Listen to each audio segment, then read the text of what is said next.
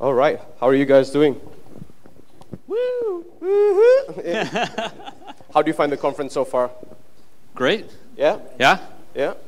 This is our second. Our, your first time here, both of you? Mm-hmm. Yeah? How do you feel about the crowd? Do we like the crowd? Yeah, I like the crowd. Important Crowd. first question. This, this could go really wrong for you. Uh, yeah, yeah. I don't know. The crowd's just okay. Alex is okay though. It's like loads Yeah. of Oh, questions, yeah. paying attention. yes. Yeah, thank you so much for the questions. Do you have any questions yet? He has them in his bag. All, all right. So, like, um. Can you guys Oh, share yes, with ah, yes. Sorry. So, uh, you open the floor. All right. So, uh, we're gonna start by getting some questions from the floor. Okay. So we also ran like a few like uh, surveys on Facebook. We've got some questions from people that we know that we wanted to ask, but we're gonna start from a few questions on the floor, and then uh, please uh, just state your name and who the question is pointed to. It could be for both. And what is your question? Go ahead. Anybody? If not, we'll start with the Facebook questions. Your only chance. Faris has a question at the end. Yep. Oh, sure. Uh, this is to both of you. So what attracted me to Ruby was like it was optimized for developer happiness, which I thought was pretty cool. But I find most quite a lot of other programmers they don't seem quite impressed by the developer happiness thing. They say it's like too medical, it's too complicated. So what are your opinions on that? Do programmers even want to be happy? Most of them seem like it's like they like hard things. I guess it shows them how smart they are. But what, what are your opinions on that? Uh, this is a strictly Asian question. Like, you can't have too much fun. Dad says no.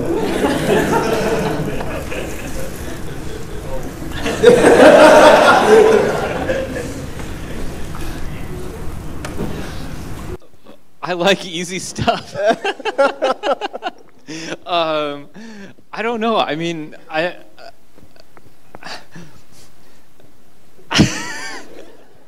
Round of applause for the hardest question today. Well, I think this is. This is probably the face I would make if I met someone that said to me, "I like hard, hard things." I mean, I like easy. I like easy programming languages. I think it's. I think it's. Um, I don't know. I meet some programmers who are like, "Oh, I like it. I want." Maybe.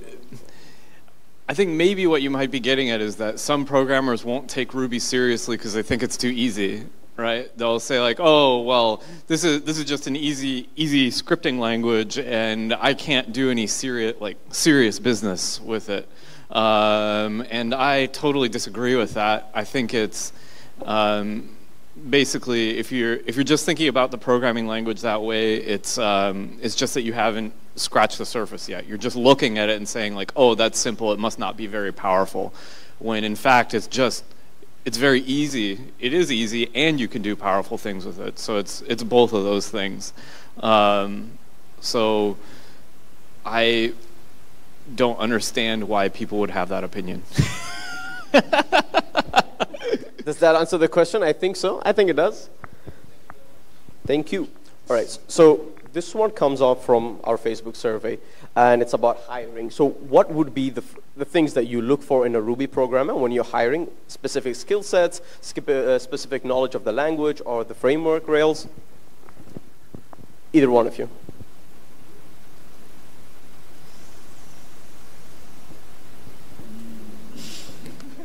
I'll go first. Yep. Um, well, I hadn't thought about an answer yet. uh, I don't know. It depends. So it depends on the position that we're hiring for. Yep. So, I mean,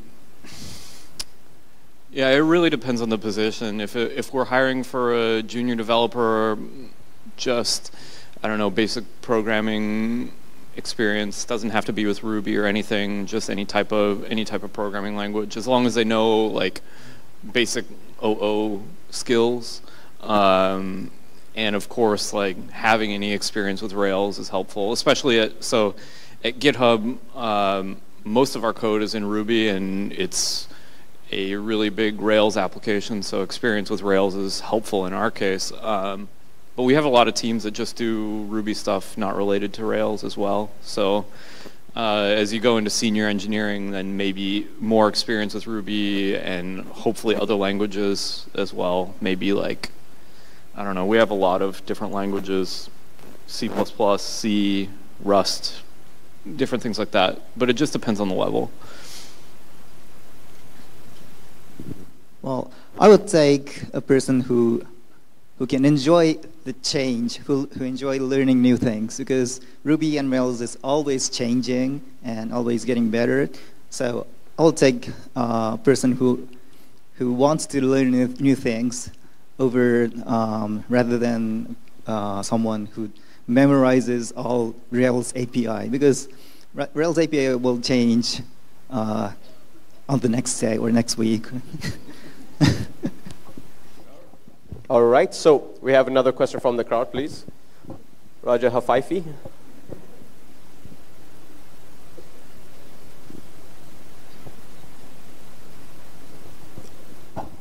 Uh, hello guys. So um, I think we know that Ruby is very good with uh, the web community. So I mean, 12 years ago, probably we can say PHP is the leading. Now we are the leaders. They are copying us. But in terms of like data processing, like Python is like way beyond us. Like all the, I mean, like for some reason, I, mean, I think it's very similar language, but Python is way ahead of us. Uh, what need to change, like in our community or in Ruby itself, so that we can be competitive in in data processing or big data and stuff like that? Can you guys tell us? As we just learned today, it's not a very similar language at all. well, as far as I know, there are some people working on the some libraries for that on Ruby, but it's not yet matured. But you know, Ruby was designed for general purpose language at first, but DHH made it a, really a web language. So I think there's no other, no uh, real job other than web right now. But so to name some, um, there's a library called PyCall, which is developed by Murata-san, M-R-K-N, and you should check it. It should work. And um, there's a what was that? SciRuby project. Mm -hmm. I don't know. It's it's maybe not production ready yet, but some people are hardly working on it, I think. Uh, I think there's a lot of libraries. So we have a lot of libraries similar to stuff that's available in Python. Uh, so we have we have some data scientists at work, and they use Python. And I asked them, why don't you use Ruby? And they just said, well, we don't know Ruby. and so I think, I personally think part of the problem is um, advertisement. Like, we need to somehow advertise to data scientists, like, hey, Ruby is, you can use it. We have, we have tools for doing this stuff. You can do it in Ruby as well. Uh, I think I think the scientific utilities in Python have already been made popular, so everybody knows about them, and there's books about them and stuff like that. So I think what we need is more more advertisement. We need a we need a Rails of the scientific world, something like that.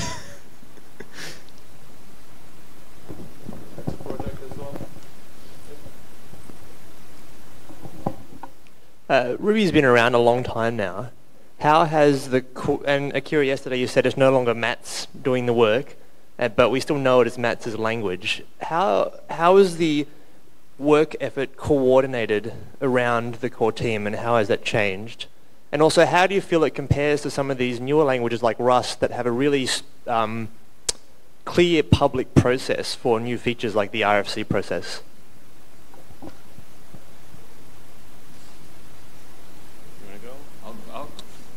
I'll, I'll answer. I'll go first. Um,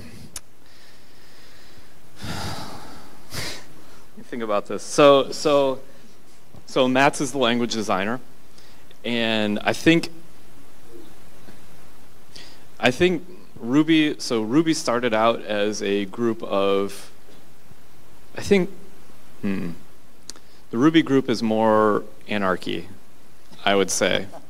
Um, so it started out with just a bunch of hackers sending in patches, and Mats is basically like, uh, yeah, no, whatever, right? He's the he's the BDFL of the project, and that's essentially how we how we run it these days. Is like anybody can send in anybody can send in patches and propose features and things like that, um, but uh, Mats is the ultimate yes or no on it, and I think he wants to keep that keep basically keep that process. Like he likes that he likes that process of essentially just an anarchistic group, essentially.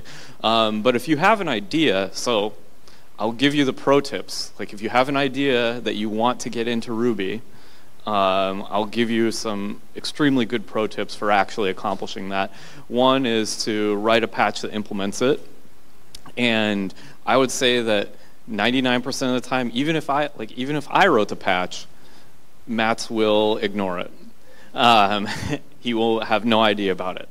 Uh, what you have to do is pay attention to the mailing list, and you'll see every once in a while, I think maybe, I don't know, every month or two, there is a developers meeting in Tokyo, and basically, uh, Mats is on the on Skype or whatever, or sometimes in person with a bunch of other core team members, and they just go through everything in that agenda and force Mats to answer yes or no. so what you do is you propose your feature, it'll probably get ignored, then you put it into that into the developer meeting notes. Anybody can anybody can add stuff to that agenda. So you add to that agenda and then you'll get an answer. so that is the pro tip for you.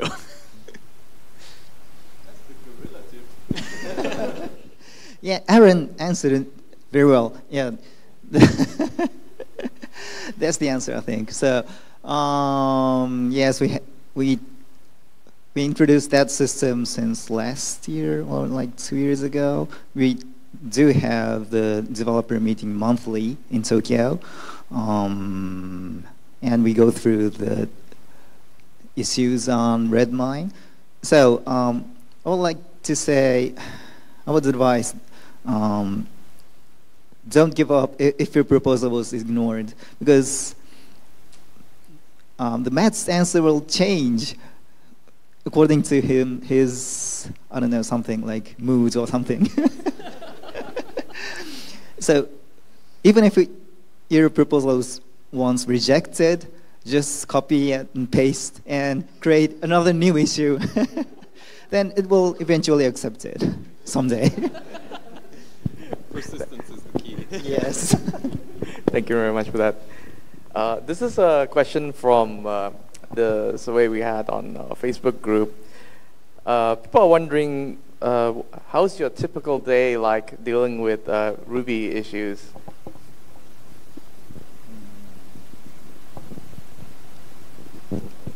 Oh. Ruby issues. Yeah, like, are you looking at them every day? Like, what, what do you do? What's your process like? And what do you ignore? What do you try to look at? So for Japanese or for those who can read Japanese, there's a blog written by uh, Ruby core Nagachika, and he writes the blog every day, and he wrote writes about every single Ruby commit. he describes all commits. So I read that daily.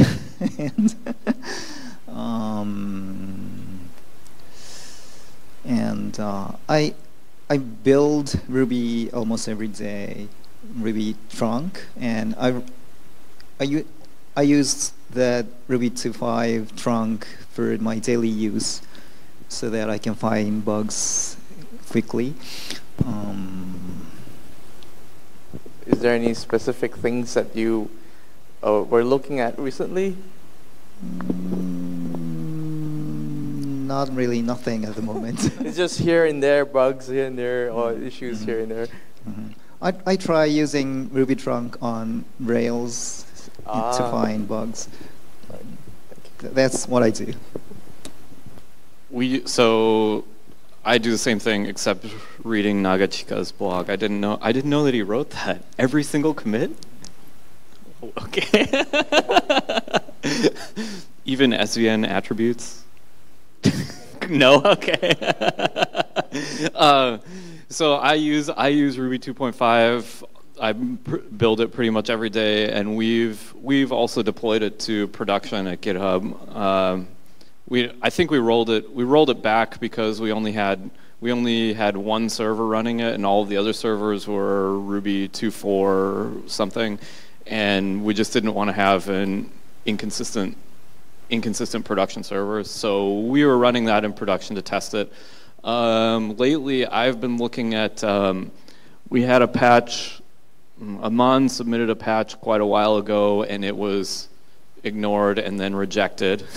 and I am copying and pasting that one in because we needed a feature, and it's what it is is uh, we want to introduce um, uh, hooks around fork, so like before fork or after fork.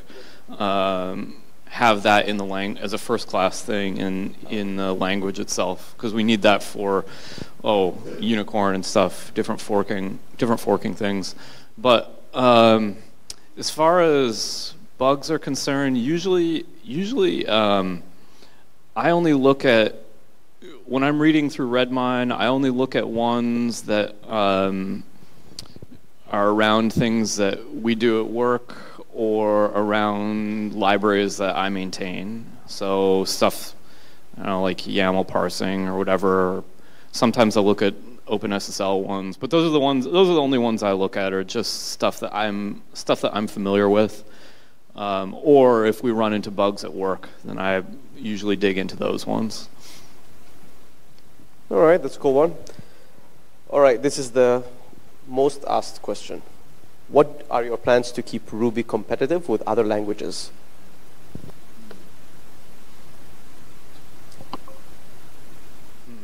It doesn't have to be personal plans. You know. Attend every conference in the world. You're almost there. Hmm. Well, so my particular plans are to continue advertising for Ruby because I love Ruby, Ruby programming language, and I want people to use it. And I'm so happy that I have a job using Ruby, so I want to advertise it to everyone and tell people how great it is. Uh, but also, I want to help. I want. I'm trying to help develop Ruby itself. So working on working on the language itself, I'm going to be presenting about GC stuff. So trying to improve trying to improve those particular things so we can keep pushing the language forward. I'm hoping that um, Vlad's work will be fruitful. Uh, Vlad, if you don't know about him, he's a Russian super hacker that wrote a uh, uh, JIT for a JIT for Ruby, and it's really impressive. So I'm I'm hoping that that'll go forward. Unfortunately, I don't think I'm smart enough to work on that. so I hope that I hope that he finishes it. so I guess my plans are to be Ruby's biggest cheerleader.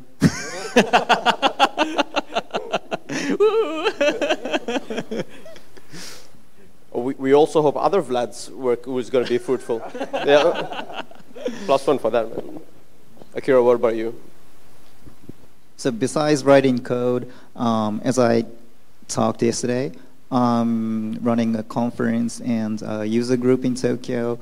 And what I do there is um, basically connecting people. So um, um, my biggest concern is connecting Ruby and Rails, for example. And um, um, actually, I, we have a uh, weekly Ruby Tuesday meetup in Tokyo, and um, we have so many guests from overseas, like like Aaron, some several times, yes, hmm visited us, and um, you know, that's for fun. Uh, For example, uh, basically, we have so many Ruby core members in our meetup, so you can meet some more Ruby core members when you visit Japan and visit our meetup. So please come to Tokyo and say hi to me. Sure thing. Uh, we have a friend in Tokyo. I wanted I wanted to say I think I think one of Ruby's strengths compared to other programming languages isn't necessarily the language, but it's the community surrounding the language, as uh, Kira was talking about in his keynote yesterday. And I think that so it's important to me to strengthen that, like um, try to help educate people and bring more. It's important to me to bring more people into the community. So. Uh, that's why I want to be Ruby's biggest cheerleader. Just uh, uh, if you guys don't know about the history, actually, for the KL Ruby uh, meetup, is that uh, like a few years ago, I went and a few pe- people here as well uh, went to Red Dot, and we heard about this awesome meetup, month uh, weekly Ruby Tuesday meetup in Japan, asakusa.rb, and it inspired us to start up uh, the KL chapter of the Ruby meetup. And four or five years later, here we are. So thank you very much, Akira-san, for, for inspiring all of us. And to be honest, Asakusa RB was started because uh, we, we copied Seattle RB style. Asakusa was started in 2008, and Seattle RB was started in back in 2001, I think. So we're this we're the meta meta Meta- meetup. meta Yeah, meetup. Yeah, we, we got it. yeah. One more question from the crowd. Nick, please. So Ruby 2 is awesome, and I love it. And I feel the same way about you, but I don't know pom-poms. And, uh, but how do you avoid, what, what governance structures or plans have in place to avoid the sort of Python, there's sort of range of outcomes that go from like Python 3 to PHP 7 to Perl 6 in terms of like disastrous rollouts of introversion. Um, what should, you, you must see that problem on the horizon. Um, what's the plan to avoid it?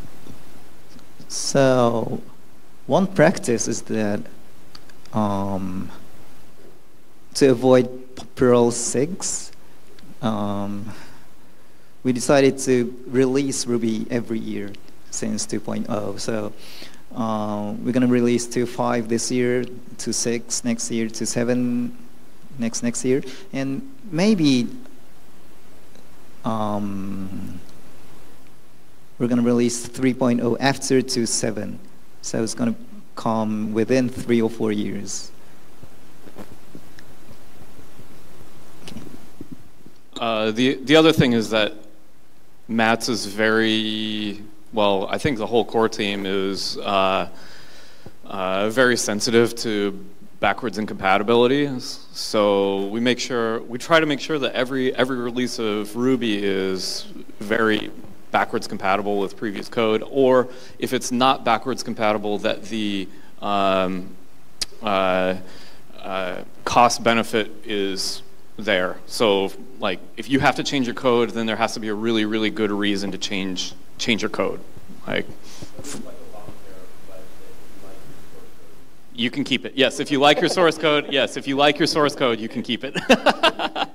but it's like you have to have if it's going to be incompatible, there has to be like some really really good benefit or some reason for you to upgrade. Like for example, going from 1.8 to 1.9 uh, we got in, we had encodings, and of course that broke everybody's code. But on the other hand, we also got an amazingly fast virtual machine. So you're like, well, oh, I don't want to upgrade, but on the other hand, my program will be way faster. So I'll just do it and upgrade. There has to be some.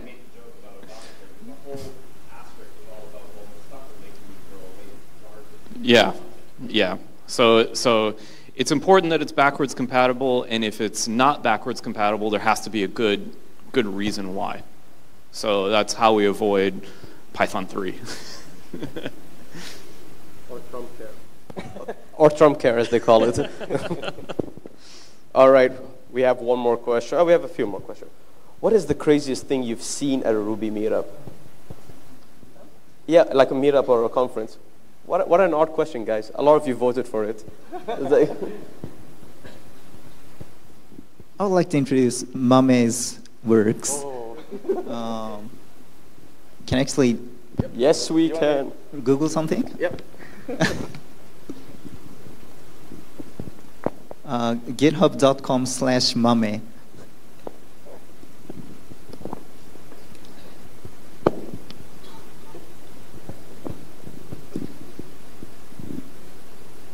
Yes, this guy. So this person became a full-time Ruby committer since last month, I think.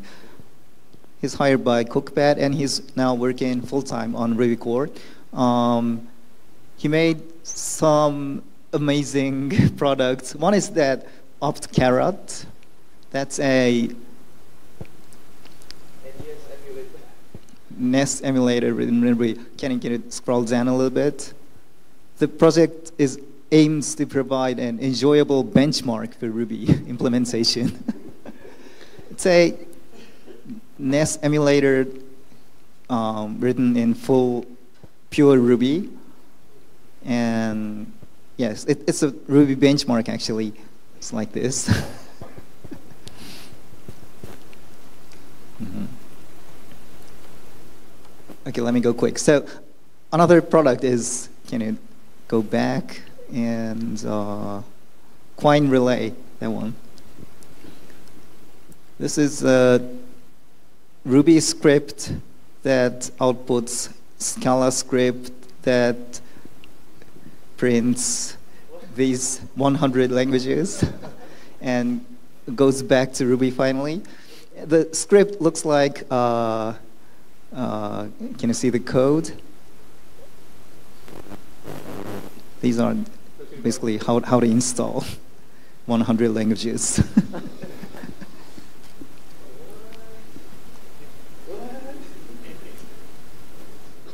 so can you scroll up and there's a, uh, can you see the lib, lib directory? No, actually example or something. Uh, vendor, maybe. vendor, qr.rb. No, not in vendor, sorry. Uh, it's on the top source? No, there. At the top, top level, sorry. qr.rb. So this is how the program look, looks like.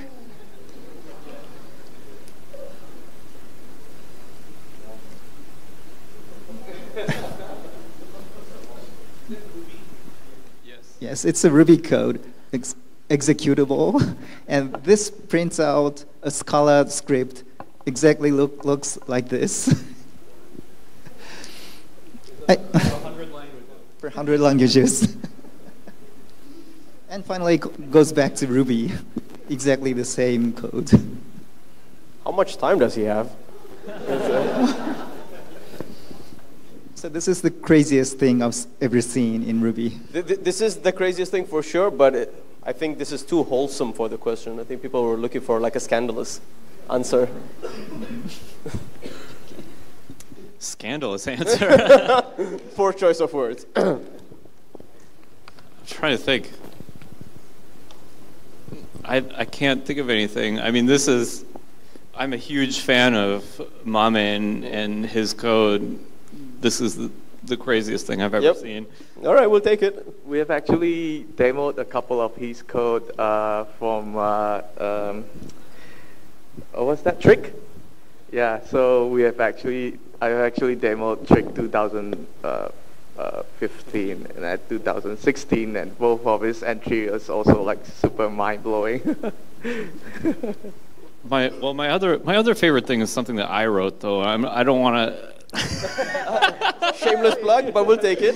All right, let's well let's go go to github.com slash tenderlove slash p h u b y yes p h p h h u b y phuby Phuby? phuby. Phuby, let's see what Phuby is about. Uh, So this this embeds PHP inside of Ruby, so you can execute. P- scroll down a little bit. I think I have an example. Yeah, so you can you can execute uh, you can execute um, PHP inside of your Ruby, and you can actually access the access the code whatever you ran from PHP. So you can get that out, and then and then I it might not say it in here, but I made it so that you could write your views in Rails in PHP. So you could write your controller in Ruby, In- and in then Ryan- and then your view in PHP, and then you could you could use that. in my Ryan Reynolds meme, but why? Why? Yeah, Why not? the best answer to why ever. I mean, I mean, why why why do a hundred language quiet? when he can do it. because he can. All right, another question from the crowd, please. Yay! Senior question asker. Um, I have a question. Uh, when you start uh, like learning Ruby, you hear stuff like Ruby is object-oriented uh, language. Then you see a lot of functional stuff in Ruby, like closures, like uh, base enclosures around, like metaprogramming and other things. Then you read further and you say, and you read that Ruby is uh, not a static language, uh, not a static type language. And now we're considering adding types to the Ruby language. Why we shift in paradigm, or is there was a plan uh, at the beginning, and why we doing that? Wait, so the question is, why are we adding types? Yeah, why we adding types? Why we saying that it's object oriented, but we still have like functional stuff in it? Uh, I don't understand. so why why is it why is it object oriented and we have functional stuff? Yeah. Um, I don't know. I guess it was just Mats was influenced by Lisp and other functional languages as well as um, oh what was the other one? Help me out here. Smalltalk, yeah, thank you. So very OO with FP stuff. I think that's why we have both of them. Um, as far as types are concerned, I don't think we're adding types. Well, I mean, Mats talked about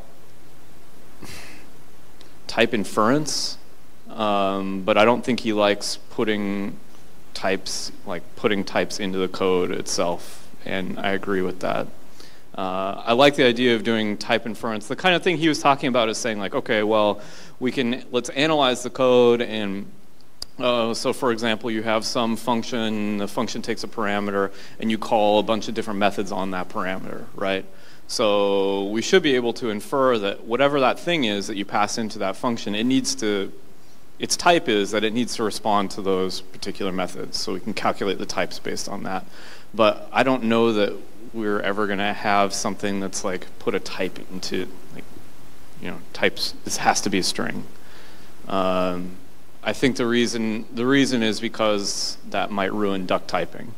So, for example, like um, oh, uh, string IO, string IO doesn't actually inherit from IO. So if you say, but you can use a string IO rather than an IO. So if you said this parameter has to be an IO, well, now you can't use a string IO there anymore. So um, rather than saying it has to be an I/O, we we need to be we need some way to say, oh, it needs to respond to write or close or puts or whatever. So, I hope I hope that is that kind of Yeah, yeah, kind okay. Yes, uh, I personally kind of like working on, uh, I mean, writing uh, optionally typed language like like Swift or like, like maybe Scala, but Mats hates it, so that will never come to Ruby, I think. And um, we're still discussing about the types, so there's no no concrete answer at the moment, but this uh, Ma- Mame is work- started working on types in for Ruby 3 full time. So we'll see his implementation maybe next year or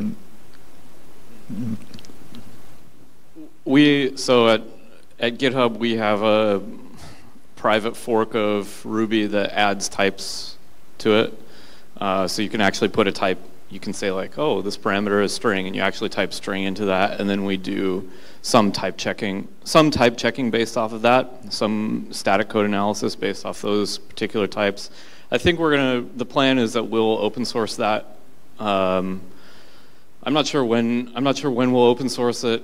Um, I think they want to have like marketing or something around it. I don't know, uh, but to be honest, I'm not actually a fan of that, and it's basically because of because of the duck typing duck typing stuff. It ruins our our particular fork actually puts the types in, so it has to be like string blah, and it does ruin the duck typing.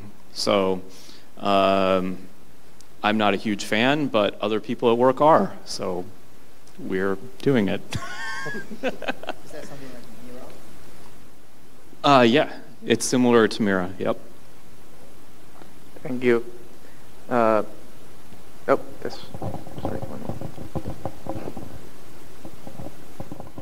Hello. Um, I know there are many learning resources in English for Ruby, uh, but uh, am I right to say that uh, to contribute to Ruby, you have to speak Japanese? And uh, no, yeah, that's my question. Oh, uh, no, that's not true. It's I think pretty much. It's true that a large percentage of the core team are Japanese, um, but you don't need to speak. You don't need to speak Japanese to contribute at all. Um, we have a lot. I think. Um, so there's two mailing lists. There's an English English language mailing list and a Japanese language mailing list, and I'm on both of them. I speak Japanese, so I read both. But what happens is basically the conversation.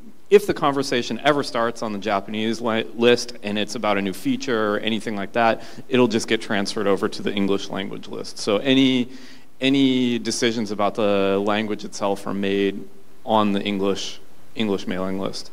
Um, the only time I've ever seen stuff not go from the Japanese mailing list to the English list is when it's something like a bug. Like someone just reports a bug and like, okay, we'll fix it, and it just gets fixed. So I would say the, I don't know, 99% of the communication is done in English. Thank you. Next question. Oh, okay. Uh, hi, guys.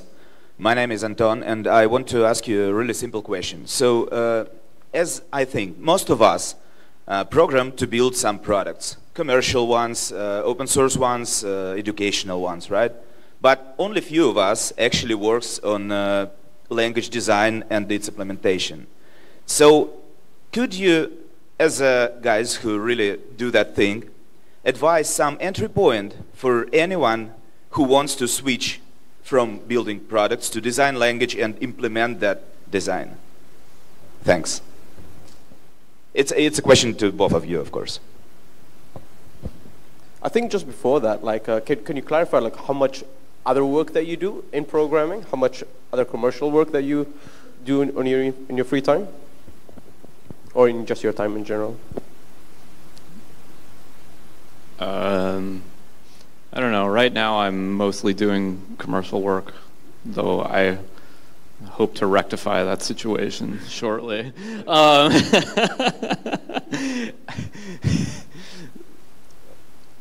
your question is, I think your question is interesting though, because um, I would say, even among the core team, not many, not many of the people on the core team are actually doing language work in particular. Like maybe only uh, Koichi, um, yeah, and, and Nobu. Koichi and Nobu are the main ones working on the working on the virtual machine. Like, I think most of the other most of the other core team developers can understand it, understand it, but aren't necessarily working on it on a day-to-day basis. Most Well, of them. Yeah, I, I would rephrase my question then. So to understand the concept, what is the you know most you know what is the best fit as a first step? I mean, it could be a book, it could be a you know some source code base of some language interpreter or compiler or or any resource uh, on the internet. So just a top one, top two, top three, or you name it.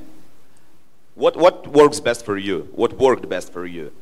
I can't think of anything. I can't think of any books off the top of my head, but um, I would say that the Ruby's Ruby's virtual machine is highly based around uh, Java's virtual machine. So anything that you can learn about Java's VM or GC, anything, any of those resources should also apply to Ruby itself. Um, so if you don't need to think of, if you're trying to learn that stuff, don't confine yourself to only Ruby because it's generally applicable ideas. Yeah, it's a conceptual thing. Yes, yeah. But I can't think of anything off the top of my head. Google how do virtual machines work? yeah. I'll give you I'll give you some keywords. I'll tell you that Ruby's virtual machine is a stack-based virtual machine. So if you want to go if you want to search for how VMs work, search for a stack-based virtual machine. Whereas actually the virtual machine that Vlad part of uh, the stuff that he's proposing is um, what is it RTL an RTL-based machine. So uh, if you want to learn about there's two different types of VMs, stack-based and and RTL-based. So Ruby's is stack-based, current Ruby's is stack-based, possibly will go to an RTL one, but if you want to search for resources, Google those terms. okay, okay, thanks a lot. Um, there's a relatively new implementation of Ruby called mRuby, which is smaller and um, easier and newer. So I think that's the good uh, good resource to read. You can read everything, I think. Okay, thank you. Cool. Do you have one more question? Yep. Hafiz, behind you.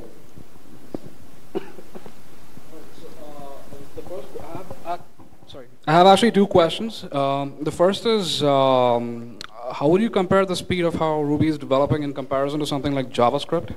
Um, also, uh, do you think it makes sense for somebody who's uh, got a Rails application going to switch to something like Elixir or continue in Rails?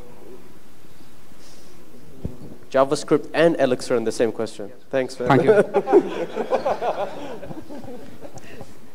First off, JavaScript is a terrible language. Let's clap for that, guys. I mean, I mean, you can run anything you want to on the server, anything. Why would you choose JavaScript? It's so terrible. okay, um, so speed of development, I think that's an interesting question and one that, um, I mean, interesting and kind of unfortunate question because JavaScript has a lot of large corporate backers that we, we just don't have. Um, and I don't know. I mean, that, that definitely impacts it. Like, Apple has a lot of money, Apple and Microsoft have a lot of money to throw at the problem, and we don't. Uh, so that's one thing that's not great. Though we do have, I mean, we do have full-time full-time Ruby core team members, but still, Microsoft, right? I mean, I, I don't know if there's much more I can say about it than that. I do think I do think that um, Vlad's work will be very helpful for us and his his. Um, I don't know. I don't want to get too far into the weeds with that, but his proposal is essentially a very very simple uh, JIT compiler, and the reason he designed it that way is not necessarily to be the fastest, but to be the easiest to maintain. And the reason behind that is because we don't have the money that, say, JavaScript does. Um, so I think that I think that our project is maybe faster than other languages, but not, or speed of development is faster than other languages, but not necessarily as fast as JavaScript.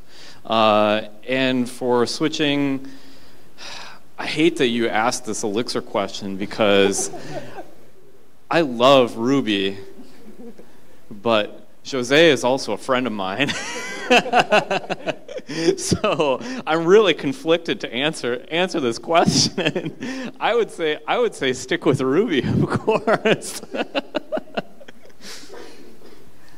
well, I've loved I love the situation that a Rails committer came up with an idea and created his new language.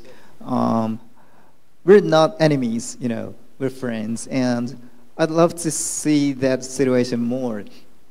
Actually, uh, Ruby is not Elixir, but Elixir is not Ruby, so we're different. And we're aiming a little bit uh, different goals, I think. And um, we're learning from Elixir. And um, actually, there are some good features in Elixir that Ruby does not have, and uh, we're thinking of importing, backporting kind of something from Elixir to Ruby. One is pattern matching, which is proposed several times to Ruby, and I guess we're going to have pattern matching in Ruby in near future. I, I guess, I suppose. so like that. Uh, it's good. It's basically a good thing to have competitors because we can make each other better. All right. This is, next question is for Aaron specifically. Tough one. Why Tenderlove? and how many times have you been asked? Honestly, not like, not that many times. Maybe a few times. Well, okay. I'll I'll tell I'll tell two stories. I want to tell two stories about this. First, I'll tell why. Um, it's an embarrassing story. It's basically it's basically I was trolling my friend is how it started out. So I, I at one point in my life I had many I mostly only had women friends and we would hang out all the time. And I remember one night we were watching movies and and we had started to have a discussion. One of my friends said, "What is the what is the grossest thing a guy can say to you?" And they were just going around, and one of my friends says, "The grossest thing is I." My username is Tenderlove. Yeah, yes. So, so, along these along these lines, so I registered the website, and I sent a link to my friend. Of course, it was just you know pictures of us hanging out, and she's like, "I'm not clicking that link." so basically, that was that was how it started. Was a troll on a troll on my friend, and just an inside joke between between our, us, uh, and then. Uh, of course, IRC you have to shorten down the name, so I shortened down my name to that. That's just how my friends knew me, basically. So it stuck. Basically, it stuck with that, and I, so it's an inside joke among my friends that is unfortunately stuck. I, I can't say that I really like the name that much. so I, I, the other story I want to tell about this is I've never told my parents this name, and. Uh, so my friends know me by this name, but my parents have no idea. My, my parents are both engineers, and I tell them, like I tell them what I do. They, I talk to my parents per, every week, and they know they're both engineers, so it's not weird that I type at a computer to make my living, you know. And I tell them all about the stuff I do. Like I tell them about, you know, programming, speaking at conferences, etc. And I thought to myself, well, well, this I'm from Salt Lake City, and my parents still live there. And there was a conference happening there, Ruby conference, and the organizer invited me and said, "Hey, would you would you come give a talk?" And I said, "Well, yes, but only if you give me two tickets for my parents, because I thought I would like them to come see what I do, you know." Uh, so I said, the, the organizer was like, "Absolutely, we'll give you tickets for your parents." I'm like, "Okay, great." So I get into town, and the, we all go to the conference and I meet the organizer, introduce him to my parents, and the organizer says, Okay, I've reserved three seats for you down at the front. And it's an auditorium like this. And we come down to the front, and there's three seats in the front, and there's three signs on the seats. And the first sign says Tenderlove, the second sign says tender mom, the third sign says tender dad. and like I've told them everything about what I do, but I, I have not. This is one thing that I've omitted. I did not tell them this. and I'm like, oh no. so I didn't tell, I didn't explain to them why. I just said, look, people know me by this name. Don't worry about it. They're gonna ask you. Don't just don't worry about it. It's fine. It's fine. So that's how they found out, and we have we have not talked about it since then.